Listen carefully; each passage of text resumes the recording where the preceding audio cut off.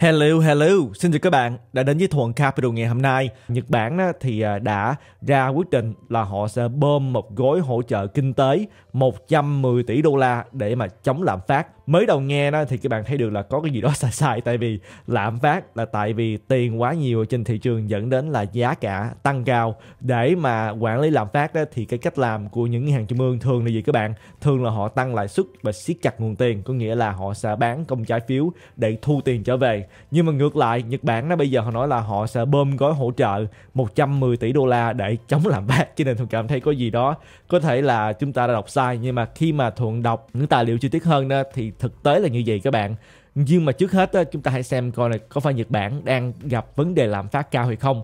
Thì không hẳn đâu, chúng ta nhìn thấy được đây là cái à, biểu đồ liên quan tới lạm phát ở Nhật Bản trong vòng 5 năm qua. Thì các bạn thấy được là đúng là từ giống như năm 2021 đó, thì lạm phát Nhật Bản cũng đã bắt đầu tăng lên.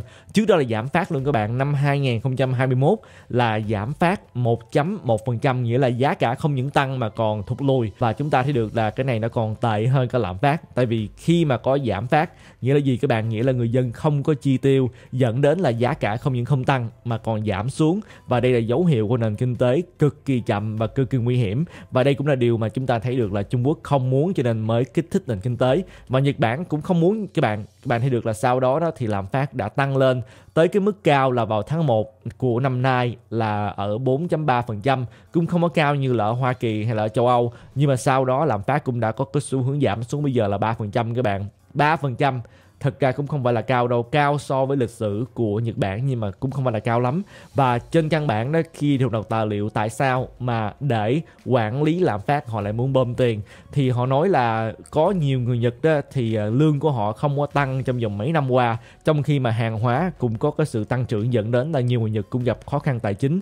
Cho nên họ đã quyết định là sẽ bơm cái số tiền này à, vào trong thị trường để có thể kích thích nền kinh tế, để à, có thể là hỗ trợ những công ty phát triển. Khi mà họ phát triển thì họ sẽ có thể trả lương cao hơn và sẽ dẫn đến là những người Nhật có thể là có thêm tiền lương để mà họ chi tiêu. Thì đó là cách mà quản lý lạm phát mà họ nói đến thường cảm thấy nó vẫn hơi ngư ngư một chút. Cái lo chuyện này nó cũng không có phải hợp lý lắm đối với thuận. Nhưng mà đó là cách làm à, của nhật bản các bạn. Nhưng bên nào mà ở nhật đó, thì à, có thể comment ở bên dưới xem coi tình hình ra sao. Một chuyến điều mà thường thường hay thấy nhiều bạn phàn nàn nhất đó chính là cái tỷ giá thay đổi giữa đồng đô la và đồng Nhật Bản các bạn đồng yen. Thì trên màn hình các bạn thấy được đây là cái biểu đồ trong vòng 10 năm qua thì nếu chúng ta chỉ nói trong vòng à, thời gian là 5 năm qua thôi chúng ta trở lại biểu đồ 5 năm đi thì từ lúc năm 2021 đó chúng ta thấy được là đồng yên của Nhật Bản liên tục mất giá so với đồng đô la và trong vòng 5 năm thôi đó đã mất giá 24.79% rồi.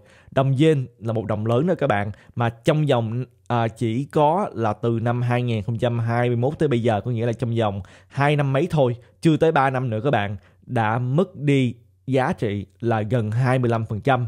Trong vòng 2 năm qua đó thì đồng yen đã mất giá 24% và trong vòng một năm qua, đồng yen đã mất giá 1.71% khi mà so sánh với đồng đô la. Và cái sự mất giá đó ngày càng tăng tốc các bạn, chứ không phải là chậm lại khi zoom ra các bạn thấy được là cái à, tốc độ mất giá ngày càng tăng lên. Đó là điều mà nhiều bạn than phiền nhất và bây giờ chúng ta thấy được là lại có tiền bơm thêm vào trong thị trường. À, thì có phải đồng yên tiếp tục mất giá hay là không? Thì à, chúng ta hãy xem coi tình hình như thế nào. Thuận hy vọng là các bạn nhận được nhiều giá trị trong video này. Và thuận sẽ hẹn gặp lại các bạn trong video kế tiếp.